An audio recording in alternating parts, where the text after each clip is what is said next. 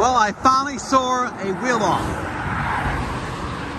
A person towing a trailer. This is uh, 295 to 95. A person towing a trailer, double axle, about nine cars ahead of me, lost its wheel. I have the evidence. I'm going to go ahead and get it. And there's the wheel. It hit the tree.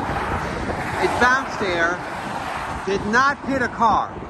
I have clear evidence now, eyewitness account, that this tire came from a double axle trailer that most likely blew its all the studs popped off. And there it is. How I know this is a trailer tire because it's an ST rated tire. There you have it, folks. I have it for evidence. It broke its studs, came off, and now he's driving somewhere there with a missing wheel because you can still drive one with a double axle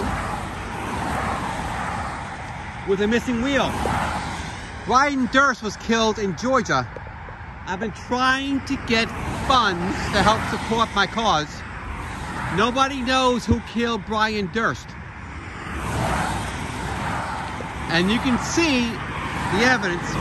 Tire, when it hit that tree, bounced over here, but it could very easily gone to a person's windshield. Here comes another axle trailer. See? That is a U-Haul double axle trailer. Exactly what happened, and I have evidence. Now, I don't know what kind of trailer it was. It could be a U-Haul, but I don't want to get in trouble, government. I have this evidence. It's going to be hidden in my home. And looks like we have a little accident here or a person. Looks like it's a, this car here blew its ball joint. You should pull over. You blew your ball joint. My God. Where are you going? You see the tire? And they're going to go, they're not going to make to the exit. They need to stop.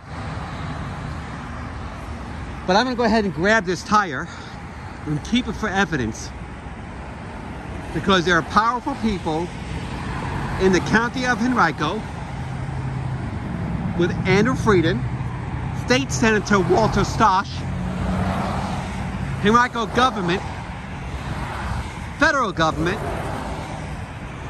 who are trying to stop me from saving lives and exposing the truth about wheel offs. Now once the traffic gets a little bit slower, I'm gonna grab his tire and put it into my car. I saw it! Hit the tree! Let's see if they care now.